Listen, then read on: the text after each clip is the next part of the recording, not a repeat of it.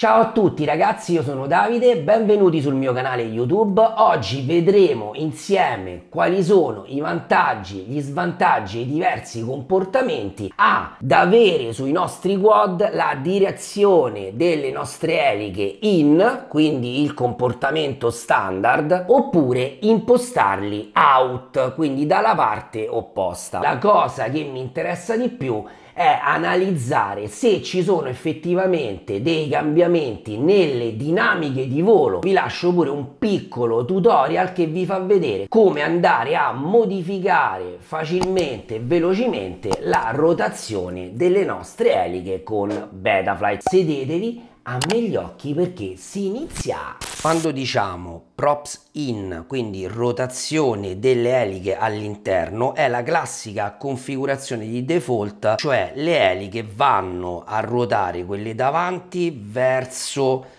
la nostra action cam o FPV cam qui sotto. E quelle di dietro vanno a ruotare internamente verso la parte posteriore del quad. Props out vuol dire il contrario quindi le eliche come vedete su questo quad vanno a girare dalla parte opposta quindi ruotano verso le nostre schede che stanno qui all'interno del drone. Anche la parte posteriore girerà con questa rotazione qui. Nel caso di un impatto con un oggetto. Per esempio questo è il nostro oggetto che si avvicina al nostro quad. Se ho la direzione delle eliche in quindi quella di default vedete che l'oggetto viene spinto verso l'interno del quad e potrebbe bloccarsi qui dentro Vedete? Ho più possibilità che quando colpisco un oggetto il quad si destabilizza, casca a terra, oppure se entro per sbaglio dentro un albero ho un'altra probabilità che le eliche ruotando in questo modo si incastrino dentro i rami. Se utilizzo il flip over after crash o il turtle mode, le eliche si muoveranno al contrario, quindi se sono bloccato in questo modo, muovendosi al contrario, il quad tenderà con più facilità a scastrarsi dai rami, a ricadere in terra quindi lo potete facilmente recuperare. Nel caso di rotazione props out, se io vado addosso ad un oggetto, la rotazione dell'elica andando in questo modo che tenderà a spostarlo quindi in genere se l'oggetto è solido che succede? Il quad sbatte e con questa botta qui praticamente si scastra. Se poi mi vado a incastrare dentro un albero è chiaro che pure in questo caso potrò utilizzare il flip over after crash che però farà girare le eliche dalla parte opposta perché questo è il mio quad con props out quindi gireranno props in ok in base a come eh, lo voglio far funzionare eppure qui è molto situazionale il caso che poi alla fine il quad si sblocchi e caschi a terra. Con il mio quad con props in se vado raso erba quindi colpisco l'erbaccia con le eliche e di solito l'erbaccia viene tagliata con il props in le eliche sparano l'erba proprio dritta sull'FPV cam. Vedete girando così l'erba viene sparata proprio sull'FPV l'FPV cam, quindi ho molte più probabilità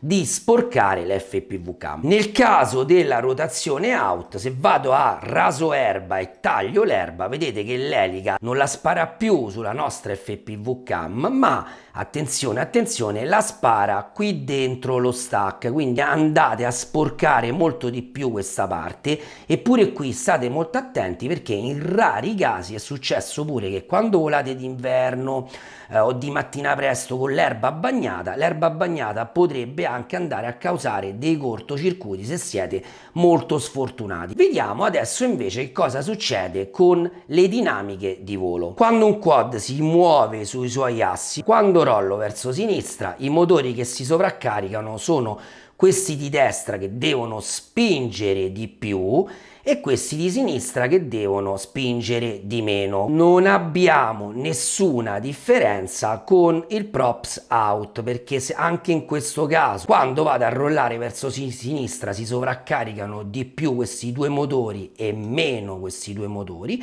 quando vado a rollare verso destra si sovraccaricano di più questi motori e meno questi motori. Quindi sull'asse del roll non ho differenze. Stessa cosa sul pitch. Se vado a pitchare in questo modo vado a sovraccaricare, aumentare la rotazione dei motori di dietro e meno quelli davanti, viceversa se vado a picciare così vado a sovraccaricare i motori davanti e meno quelli di dietro. Anche in questo caso non ho nessuna differenza utilizzando la rotazione out. Se vado a picciare così sovraccarico sempre questi due motori di dietro, se vado a picciare in questo modo vado a aumentare la potenza di quelli davanti e meno quelli di dietro. Stesso identico comportamento. Con i props di default, quindi i props in, quando vado a effettuare uno yo verso sinistra, destra aumentano di potenza i due motori con le eliche che girano dalla parte opposta. Se eseguo uno spostamento sullo io in senso anti-orario,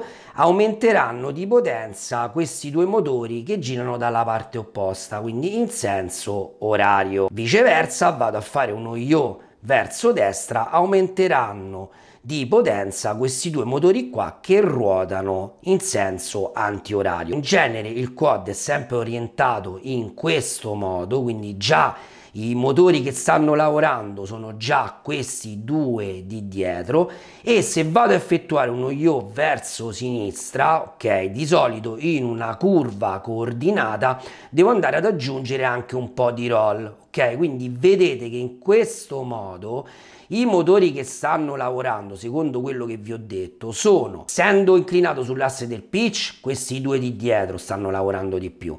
Essendo inclinato sull'asse del roll, questi due, in particolare questo, sta lavorando parecchio perché sta così. Se vado pure a effettuare lo yo, vi ho detto che se giro a sinistra lavorano questi due motori qua che ruotano in senso opposto alla direzione dove sto andando, motore che si sta sovraccaricando di più è proprio questo qui, perché qui deve gestire sia il pitch, sia il roll, sia lo yo. Ecco perché quando avete uno stile che girate sempre da questa parte, fate roll sempre così, quando atterrate in genere questo è il motore che scalda di più. Quando effettuo uno yo verso sinistra con la rotazione delle eliche out, se giro in questo modo sono sempre i motori che ruotano dalla parte opposta che devono aumentare di potenza. Quindi se io giro così, i motori che aumentano di potenza sono questi due, perché vedete ruotano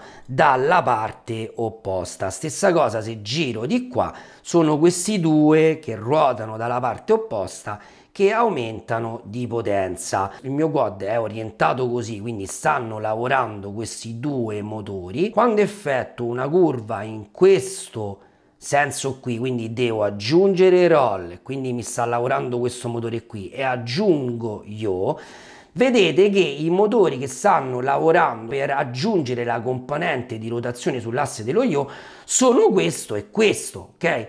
Quindi vedete che non ho più un totale sovraccarico su questo motore come abbiamo visto con la rotazione props in. Perché per girare così non devo utilizzare questi due motori qua, ma per effettuare uno yo così si utilizzano questi due motori qui. Quindi questo motore qua deve gestire soltanto il pitch e il roll, ma per lo yo lavora questo qui non più questo. E sulla carta e sulla teoria, se ho un comportamento lineare, vedi cruising, vedi long range o sto facendo un percorso a bomba, una linea a bomba sempre davanti a me, il props out è meglio perché sovraccarica meno i motori. Vediamo che cosa succede a livello di flussi d'aria. Che cosa si intende per un flusso d'aria pulito, quindi vuol dire che facilita il volo e un flusso d'aria sporco vuol dire quell'aria che contrasta eh, la direzione del nostro quad e quindi può provocare prop wash, oscillazioni, vibrazioni eccetera. Considerando che il mio quad sta andando in questa direzione e io le eliche che in questo caso sono props in, vedete che il flusso d'aria che viene di qua è un flusso d'aria pulito perché accompagna la rotazione delle eliche, ma l'aria esterna va contro la direzione delle eliche, perché l'aria viene così, le eliche vanno in questa direzione e contrastano. Quindi con props in la parte davanti ha un flusso d'aria sporco qui sull'esterno, ok? E quindi l'aria sporca arriverà ai motori di dietro. Stessa cosa qui dietro, se ho l'aria pulita che entra qui dentro, le eliche girando così vanno a contrastare l'aria pulita e quindi si crea aria sporca, quindi aria che potrebbe creare vibrazioni sia qui dietro sui motori di dietro, ok?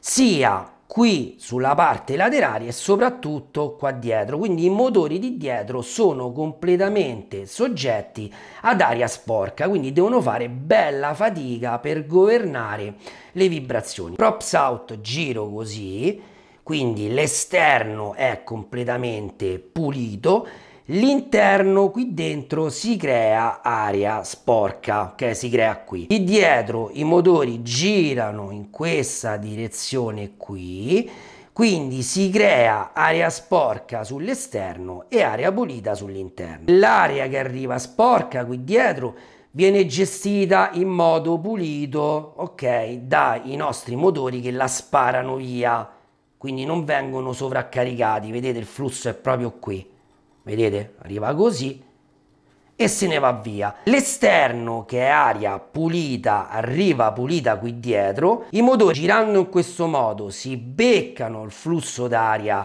eh, contrastante all'esterno e generano aria sporca dietro ma dietro non c'è niente. Quindi effettivamente anche sulla carta per quanto riguarda il governo dell'aria pulita e di aria sporca, props out, è meglio ovviamente sempre considerando che seguite sempre linee frontali a voi. Dinamica di volo, che dobbiamo fare? Props in o props out? Prima di trarre le nostre conclusioni ragazzi andiamolo a testare sul campo. Bene ragazzi qui sto volando con il mio quad sul quale ho configurato la rotazione delle eliche in, quindi la configurazione di default. Questo è il quad che utilizzo tutti i santi giorni, quindi bene o male è la configurazione che conosco bene, però adesso sto cercando di memorizzare bene il suo comportamento in volo con linee veloci, come reagisce alle curve, perché dopo dovrò metterlo a confronto immediatamente con la rotazione delle eliche out. Adesso mettiamo a paragone questo stesso identico quad, stessa elettronica, stessi motori, stessi PID, ma andando a modificare solamente la rotazione delle eliche da in a out. Qui sto volando con lo stesso quad con la rotazione delle props out, sto cercando insomma di replicare alcuni comportamenti in volo che ho fatto proprio poco prima, non vedo tante differenze tra la gestione della gravità quando lo sparo in aria, nella gestione dei trick, forse un leggerissimo, quasi impercettibile miglioramento quando vado a effettuare delle curve veloci, cioè sento che mi viene dietro, mi reagisce leggermente meglio, ma la cosa ragazzi che mi stupisce fin da subito, fin da quando eh, inizio a eh, aggiungere del gas con la mia radio è il suono dei motori, cioè lo stesso quad, stessi bid, ho soltanto cambiato la rotazione delle eliche, ragazzi, ha un suono dei motori completamente differente. Mettiamoli a paragone il suono del props in con il suono dei props out.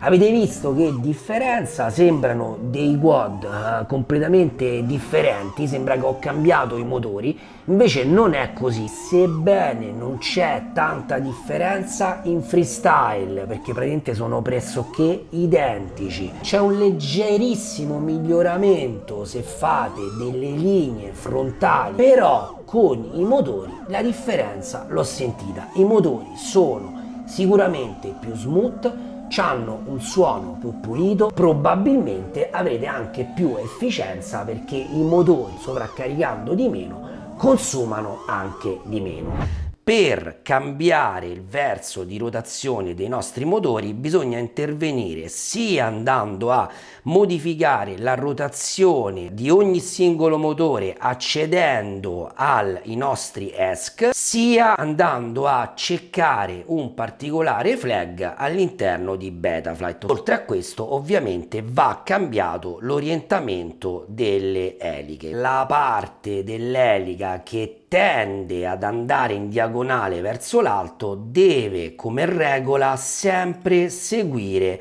la rotazione del motore. In questo caso quest'elica è montata per ruotare in questo modo qui. Togliamo tutte e quattro le eliche al nostro quad, colleghiamo la lipo altrimenti non riusciremo ad accedere ai nostri ESC colleghiamo il cavo USB al nostro PC, apriamo BLL Suite 32, selezioniamo la COM relativa al nostro FC e ci connettiamo ai nostri ESC. Premiamo il pulsante Red Setup, verifichiamo se è tutto quanto ok, premiamo ok e ci prepariamo a cambiare la direzione dei nostri motori. In basso abbiamo la numerazione dei nostri motori da 1 a 4, li selezioniamo uno ad uno, io di solito faccio così per sicurezza e andiamo a cambiare la direzione di rotazione del motore passando da uno all'altro, quindi faremo prima sul motore 1, poi sul 2, poi sul 3 e poi sul 4 finché tutte quante e quattro le direzioni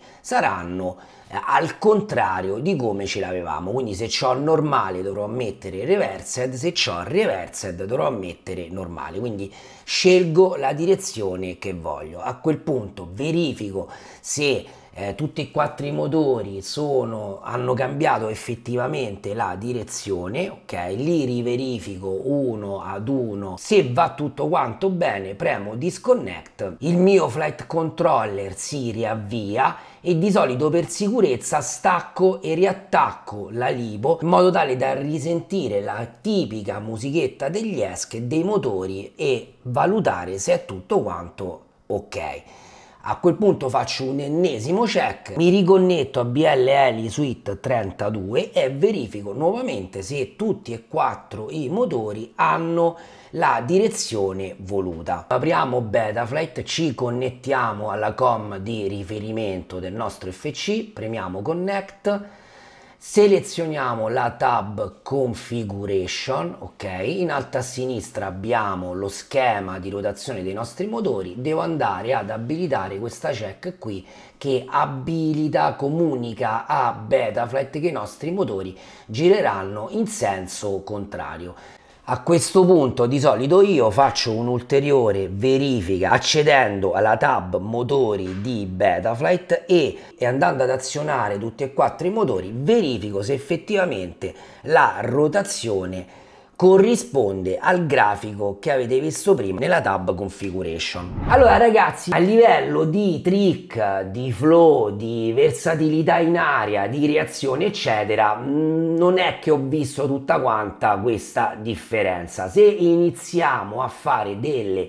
eh, linee abbastanza dritte, eh, senza trick dove facciamo inversione di marcia, andiamo indietro, rolliamo, flippiamo, eccetera. Quindi diciamo con una mentalità più di eh, racing in testa, quindi vado sempre dritto, veloce davanti a me probabilmente la rotazione delle eliche out è meglio perché quando andiamo a fare quelle curve strette, veloci, quei cambiamenti di direzione, ma sempre andando avanti a noi, una leggera differenza e un leggero miglioramento l'ho effettivamente eh, notato. Si ottiene un miglioramento anche nel eh, sovraccarico dei motori, cioè i motori faticano di meno, il suono è più pulito, si sente che filano eh, più lisci e effettivamente a fine volo se vado a toccare la temperatura dei motori è tutta omogenea. Se fate cruising, se fate cinematic, quindi ragazzi sono tutte quante linee in cui il quad va sempre davanti a voi, sicuramente impostare la direzione delle eliche out secondo me è meglio, ok? Perché effettivamente il quad vola più pulito, i motori si sovraccaricano di meno, il flusso d'aria che entra all'interno delle nostre eliche per la maggior parte è sempre un flusso d'aria pulito e quindi soffriamo pure meno oscillazioni, meno vibrazioni e quindi vuol dire un filmato HD più pulito. Per tutto il resto, quindi vedi che ne so, vado addosso agli oggetti, taglio l'erba in modalità taglia erba, eh, vedi che finisco sull'albero e devo utilizzare il flip over after crash o il turtle mode, quello è tutto situazionale. Pensateci, pensate al tipo di volo che andate a fare, a dove vi trovate, se vi conviene un caso o l'altro. C'è da dire pure per esempio che se casco sull'erba bagnata voglio utilizzare il flip over after crash, se ho le eliche out, quindi flip over after crash mi fa girare le eliche verso la, la telecamera, quando il quad si va a rigirare taglia l'erba e la spara e vi sporca l'FPV cam quindi poi alla fine comunque dovete andare a dargli una pulita. Dipende da voi da come preferite. Per questo video è tutto ragazzi. Fatemi sapere qui sotto nei commenti se utilizzate props in o props out e soprattutto se avete delle domande scrivetemele sempre qui sotto perché come ho tempo cercherò di rispondere a tutti quanti. Props in o props out? Ragazzi, ma chi se ne frega? L'importante è come sempre divertirsi e dai! Set my heart afire